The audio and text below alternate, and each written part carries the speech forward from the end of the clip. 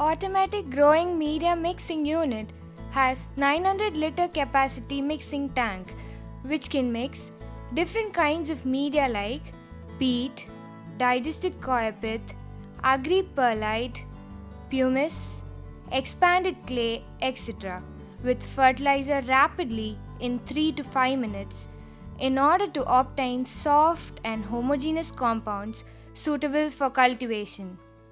After mixing it will automatically unload the homogeneous mix onto receiving hoppers of tray fillers with assistance of level sensors. The mixing unit has also fitted with wheels and provision for short distance mobility. The horizontal and vertical conveyor belts will take the media to the filling head which operates in three motions growing media scattering from top, bottom vibration, and surface sweeping.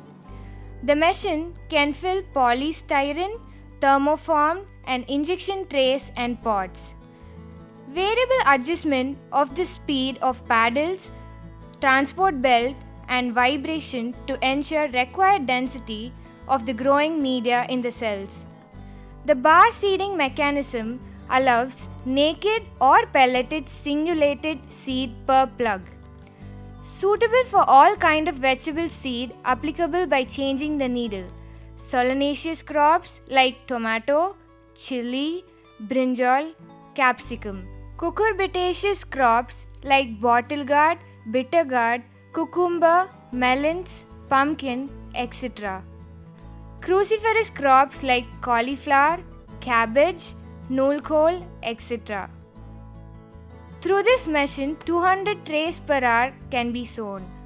The machine completes dibbling, sowing, covering, watering, and staking at the rate of rupees 1 per tray when compared to rupees 5 per tray in the manual method.